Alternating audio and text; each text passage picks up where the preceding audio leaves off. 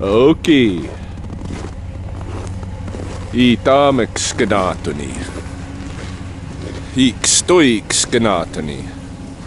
21 degrees below zero this morning, this moon day morning, the 4th of March 2024. Just checking my skunk traps out over here at the apartments. And as suspected, there's no activity. It's too cold. Hey, the small mammals got to hole up when it's 20 below. Can't be out running around. Hey, except for these small mammals. Taylor and Lucy, we are on our way to the big dog park to run for an hour, hour and a half or so. Want to do five or six kilometers right away this morning. Got another couple of big dogs coming this afternoon. And this Lucy Husky might be going home. We'll see. Her uh, her mama's not working or anything right now. She just wanted her to get out of the house and have some activity and stuff. So she's with me for a night or two. Figured I'd get the camera rolling.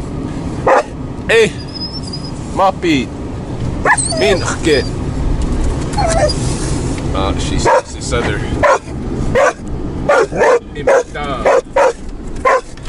Hey, Kayla. Moppy. Rolling your window down.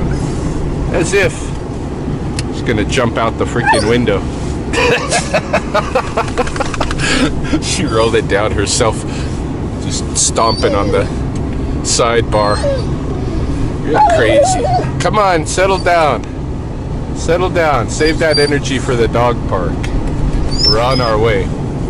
So yeah, I figure I'll get the camera rolling. Uh, don't have a lot on the agenda today other than the dog stuff, so probably we'll go over to Botterill Bottom Park again and do some more exploring in preparation for next week's or this weekend's Sunday's uh, eco tour. But yeah, and uh, you know, I probably got an update or two to offer. Off on our moon day adventure. Me and these doggies.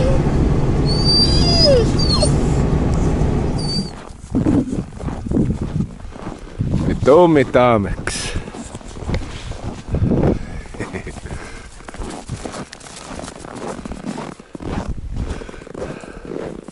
Mitskani Mitskani tamex.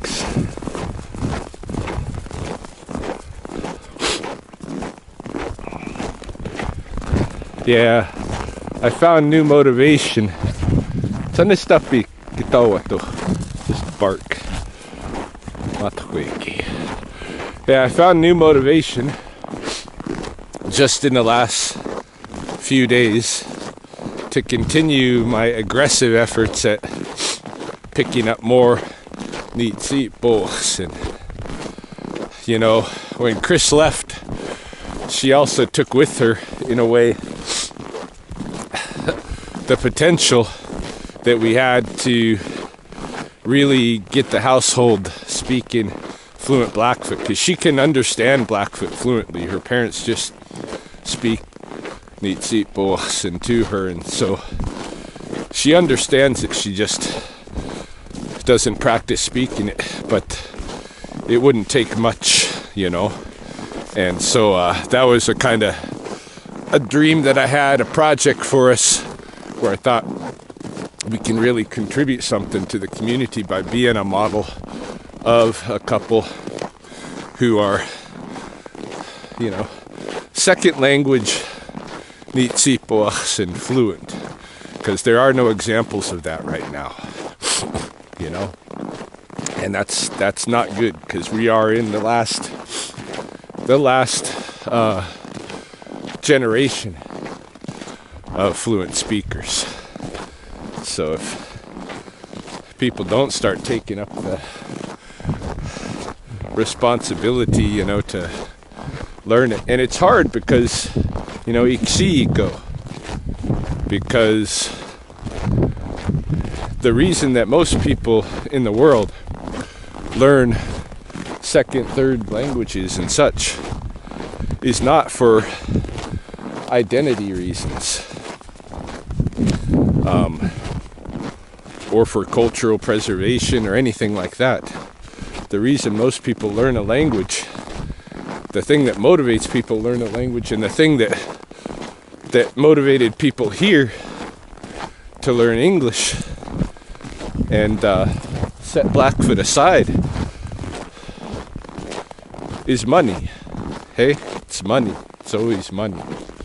Money is the economic. That money, the economy is the driver of language shift. Look around the world at language shift. Who's learning what languages and why? And it's almost all money. You know, there are certainly all kinds of indigenous language programs around the world, you know, that are trying to support um, the continuation of threatened languages and dying languages and such. Even pl- places where they're trying to revitalize languages, but um, the fluency is not it's not there and it's not coming out of these programs. And I don't think really the educational programs and schools and such ever lead to any kind of fluency. I mean, I don't know about you, but I took couple of years of Spanish in high school and then again in university. And uh, I don't know jack of Spanish, you know. Most kids here going through school take Blackfoot language every year of their lives in primary school, but ain't none of them coming out with any kind of fluency. So I think the way you get that fluency is by a really strong motivation to uh, to speak another language, and the strongest motivation of course, is subsistence, is whether or not you're going to survive economically. And so, in a world that turns to the key of English, it is really hard to motivate anybody, even, you know, people who are, whose whole lives are focused on the maintenance and revitalization and such of the of the culture. Um, languages are hard to learn unless you need them. So we'll see what kind of success that I have in the future with this, but I did find new motivation to continue trying. Okay? And that motivation came in the form of being tagged on a Facebook post by Theodora Warrior. And the post was, uh, how do I say it? This uh, Anatsiki must have been her mom or her grandma. Uh, Anista Ipi Soachs. I asked Theodora what her name is. Uh, the old lady, Tipitaki. And uh, Anista Ipisoas. And the link that was with this post was a link to one of my videos, one of my uh, lectures on the occasion when Abraham Maslow visited Siksika in 1938 and what came of that, hey? And that lecture has a big Blackfoot language component. It has a lot of history built into it. It's a really good um, talk. A lot of people have asked me to turn it into a book, but I like to leave it as a, a storytelling because it changes, you know, as uh, as as years go by and I learn new things, I incorporate them, and the whole the story gets better and better, hey? But I guess ma kipitaki um dasamok pretty often, hey?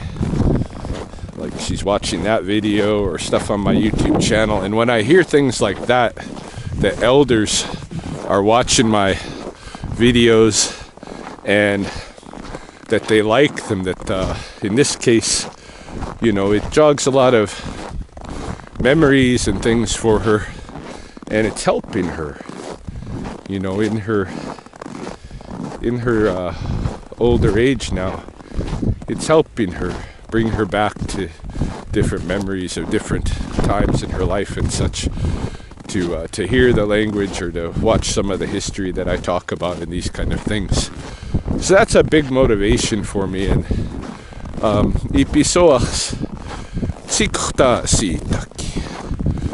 Thank you for watching, and um, really helps me because I also have a lot of uh, knowledge that I don't share here, and like a lot of uh, origin story knowledge, place knowledge, you know, things like this. Um, knowledge about, you know, Ngātawapi because I was so involved for so many years in repatriations and and in ceremonies. So um, I have a lot that I could be sharing here that I kind of hold back on a little bit because I don't want anybody feeling any kind of you know way about me or whatever you know? This channel's not specifically directed as a blackfoot cultural channel or anything. Son stop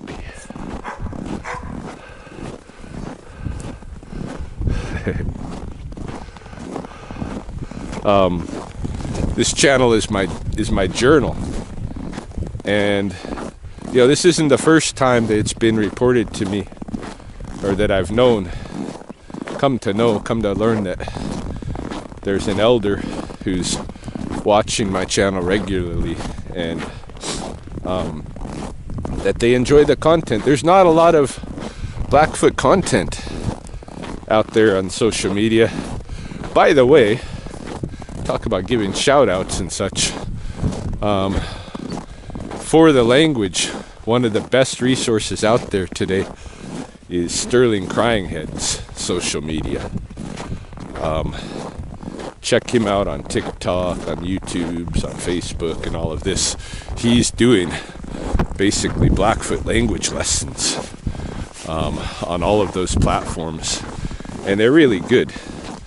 Um, they're just you know, easy daily lesson. He'll take one concept or something and show you 10 different ways to use it. And um, yeah, shout out to Sterling for his content. It's really good. Helps me. But it's good for me to hear that uh, I'm being helpful to others too.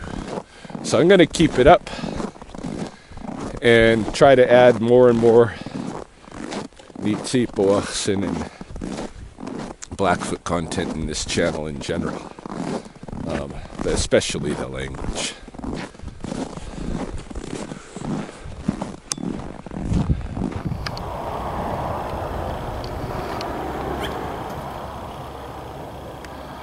back home now and check it out there's a magpie couple who are building their nest for the year right here in my big elm tree in the front yard. So we're gonna have magpie babies here. It's gonna take them a month to build this nest. It's the most complicated nest of any bird in our region. It's gonna be a big orb with a clay bowl. And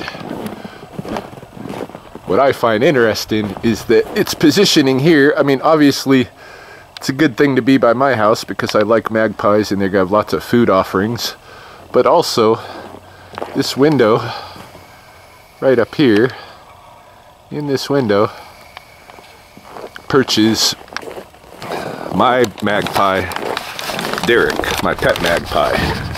And talking about Kipitakiks, old ladies, um, I named Derek, or we named Derek, Mahoney and I, before we knew uh, we thought it was a, a, a, male, but it turns out after a few years living with us, Derek started laying eggs. so Derek is a female. But for those of you who've watched my channel for a while, uh, you have known Derek all along, probably, especially when I was living back in Riverstone and Derek was more active and such. Hey, mister. Him mister, just because I always have. So, Derek sits up here in the window where we'll be able to see the magpie nest, you know, evolve over the summer here. And Derek happens to be turning 15 years old this summer. And in magpie years, that is super duper duper old. In fact, Derek may be the oldest living black-billed magpie ever. Um, I looked into it. What's the oldest living black-billed magpie on record? Because their lifespans, on average, are four to six years um, for this species. See you later, mister. Four to six years. So I wanted to know what's the oldest on record. Oldest on record was a magpie that was in captivity in Saskatchewan, the neighboring province, and that magpie lived to be nine and a half years old. Derek this year is turning 15. So Derek has lived three times the average lifespan of a member of his species and is getting close to doubling the record for the oldest living member of his species. So that's pretty cool. I gotta call Guinness Book of World's Record or wherever I gotta figure out where to call to uh, to get it documented. But I've I've got photos and film of Derek from the time he was an egg, for real, to uh, to now. So he's been yeah he's been around 15 years, and that makes him um, something of a feat of nature, which is cool. Hey. Any case, um, I'm changing plans this morning. I think I was going to uh, go over to Botterill Bottom Park, like I was saying, do some more surveying in preparation for my eco tour uh, coming up on Sunday. But um, I think I'm going to shift gears and go instead to the Wilderness Park because it's such a calm, windless day. I want to take advantage of it. It's cold, but it's windless. And I was talking to my friend Tom, uh, maybe a week, week and a half ago. He was helping me fix my truck. Uh, it had a water pump issue. And I was telling him the story about me searching the coulees for um, Ellie the husky. Come on in, little girl. Are you frozen? This little girl gets frozen. Her legs can't deal with this kind of cold. Oh, my poor girl. My poor girl.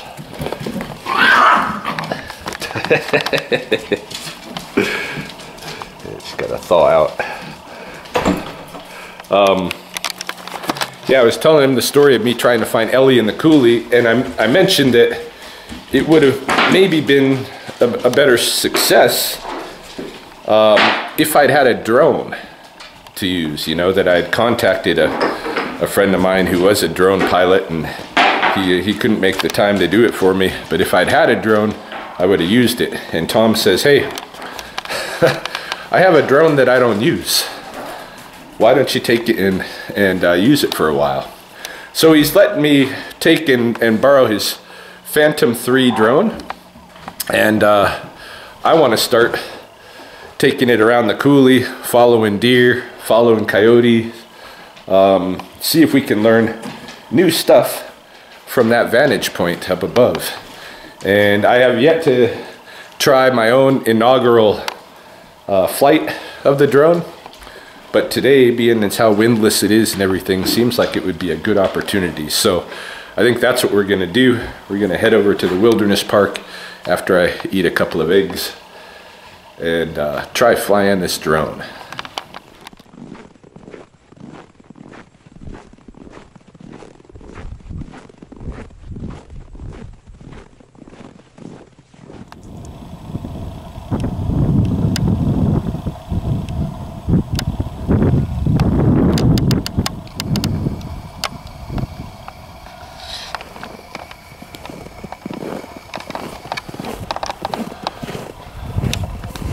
Getting to where I can see the river.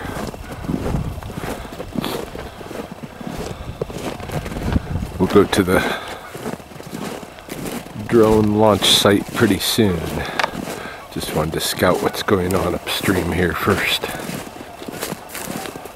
Obviously there's geese. The geese have been displaying their, starting to display their nesting territorial behavior. The magpies are building nests. The eagles should be sitting their nest by now. And maybe once I learn this drone, we can check that out.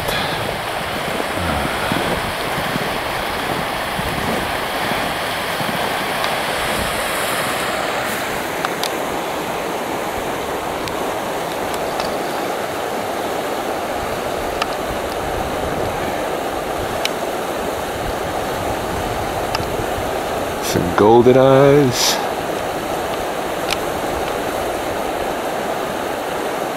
These guys will be leaving pretty soon.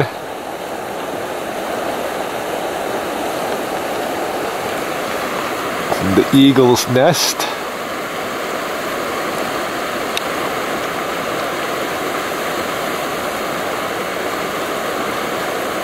And I can't tell from this angle if anybody's home, but we got from above, we would know.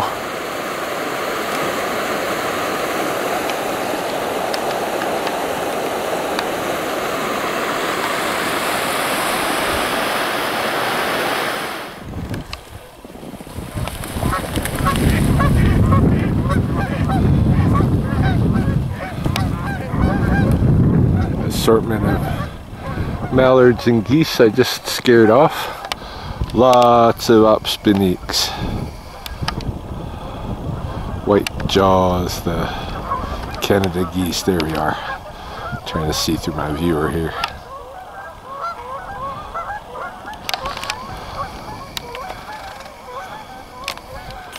So I'm thinking, just out here in this clearing, is where I should try to launch. I'm a little I'm a little chicken to tell you the truth. I'm a little scared because you know it's an expensive borrow. It's an all white drone in an all white environment. I, I'm hoping I do it right. I won't I won't take a huge far away flight or anything today. I need to practice with it and get to know it. Uh, but I don't want to run it into any trees or anything either. So I'm going to get it high enough up that I can uh, make sure I'm not bumping into anything. I don't know. But we'll give it a whirl. Well, here's the drone. Unfortunately, we're not going to be able to fly it today because I'm looking at the controller here and I just realized that I have brought the wrong wire to attach to my iPhone. Needs to be one of these little sizes here and I brought a USB to my iPhone so I cannot hook up which means we cannot fly this drone today unfortunately and I was really uh, ready to go scared but ready to go so I'm to take it back apart, put it back in the backpack, and uh, continue my hike. Gonna have to source one of those cords. Uh, maybe later today, maybe tomorrow or something, but for sure at some point this week, we're gonna test this drone out. Gee, that's a bummer. Oh well.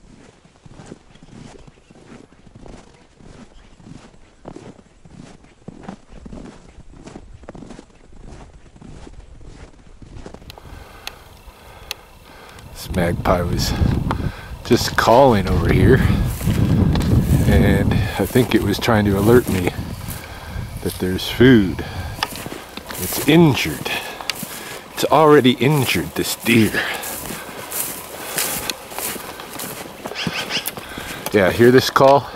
This is a magpie telling a human. Whoops.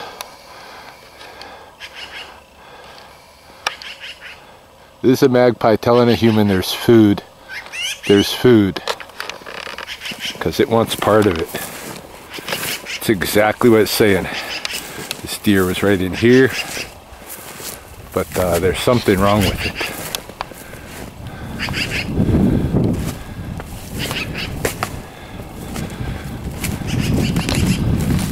see if we can find where it went.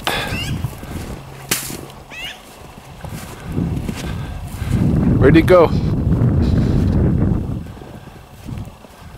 Uh, maybe magpie's given up on me.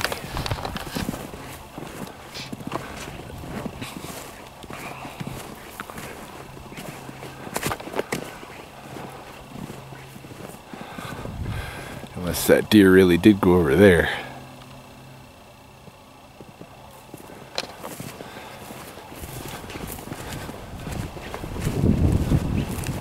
kind of trust the magpie more than my own intuition. He's not calling though. A couple of calls and quieted. Huh.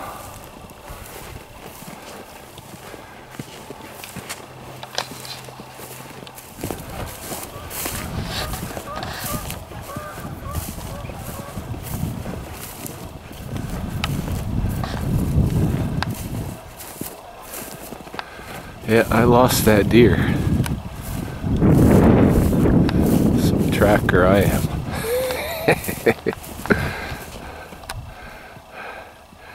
Gimped up, injured deer, and I can't even follow him right.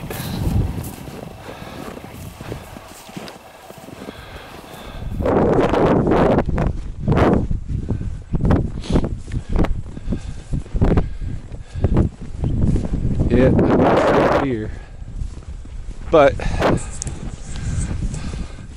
I figure the prairie wolves will eat good tonight. What was I gonna do with it if I found it anyway?